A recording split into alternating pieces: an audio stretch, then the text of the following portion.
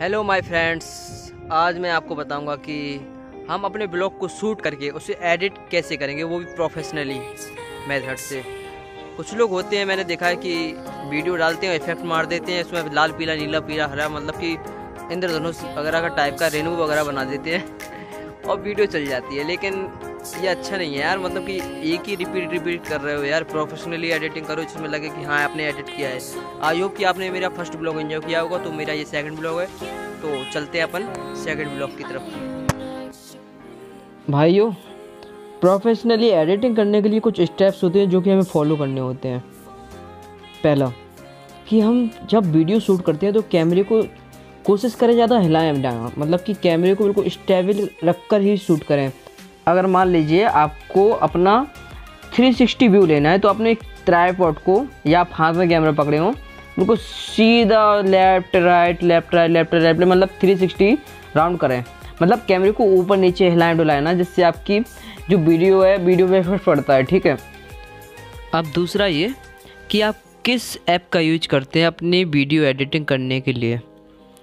देखिए, मैं आपके सामने जो ऐप खुला है, वो काइन मास्टर है। अब मैंने कुछ वीडियोस को चूज़ कर लिया, उनको सेलेक्ट कर लिया, ठीक है? अब उनको मैं देख रहा हूँ, ठीक है? अब उसमें इफ़ेक्ट डालेंगे अपने बीच में। पहले इनका म्यूज़िक लो कर दें आप सारी वीडियोस का, जो इनकी बॉयज़ है ना बॉयज़ को बिल्कुल ज़ीरो पे कर दें। हमने जितनी भी वीडियोस को अब यहाँ पे सिलेक्ट किया है अपने एडिटिंग के लिए, उनका सबका म्यूज़िक जो बॉयज़ है, वो लो कर लेंगे, यानी कि ज़ीरो पे, ठीक है? और सबसे मेन बात आपको मैं बता दूँ कि आप भाई ब्लॉग बना रहे हो तो भाई आपको कोई ओवर एक्टिंग नहीं करनी है। ज़्यादातर ब्लॉगर्स यही कर रहे हैं कि उसमें फ़िल्टर लगा रहे हैं कलर चेंज वाला, जिसमें कलर चेंज हो रहा है, लाल, पीला, नीला, हरा मतलब इंद्रधनुष टाइप का बना रहे हैं। वो सब तो सब करना नहीं है, आप ब्लॉगिंग कर रहे हो, कोई ओवर एक्टिंग नहीं कर रहे हो, कोई तमाशा नहीं हो रहा है। अब भाई मेरा बताने का मतलब ये है कि आप एडिटिंग कर रहे हो तो बिल्कुल सिंपल ही करो, यानी कि ओवर एक्टिंग नहीं लगना चाहिए। अगर आप ओवर एक्टिंग करोगे तो भाई साहब जो प्रोफेशनल लोग आते हैं, वो समझ जाएँगे, भैया, यहाँ ओवर एक्टिंग हुई है और हमें यहाँ रुकना नहीं है, वो वहीं पे लीव करके छोड़ के चले जाएँगे। ठीक है?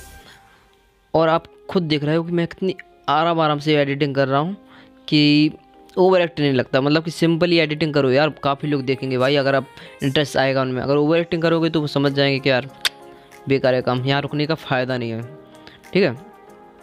ये सब तमाम बातें होती हैं जो कि आपको बतानी है और एडिटिंग कैसे करें, कैसे नहीं करें तो काफ़ी सबसे बड़ा स्ट्रेस रहता है नए नए ब्लॉगर्स में कि एडिटिंग भाई मैं कैसे करूँ, मुझे नहीं आती। भाई कोई ना यार, कुछ कोई ज़्यादा हार्ड नहीं है।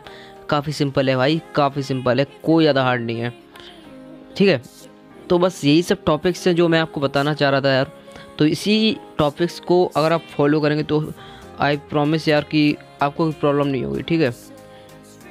एक मेन इंपॉर्टेंट चीज़ ये है कि आप किसी भी सॉन्ग का यूज़ इसमें ना करें, जिससे कि आपकी कॉपीराइट क्लेम तुरंत लग जाएगा। कोई N C C no copyright claim music use करें और उसको अपने बैकग्राउंड म्यूज़िक के तौर पे यूज़ करें। ठीक है?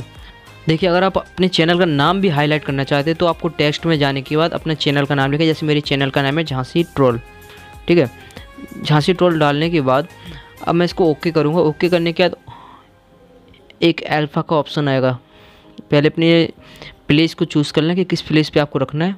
उसको, उसी अपने अकॉर्डिंग हाईलाइट कितना करना है, उसको सेट कर लें और उसको पूरी वीडियो पे कर दें, यानी कि ऑल पे कर दें, ठीक है?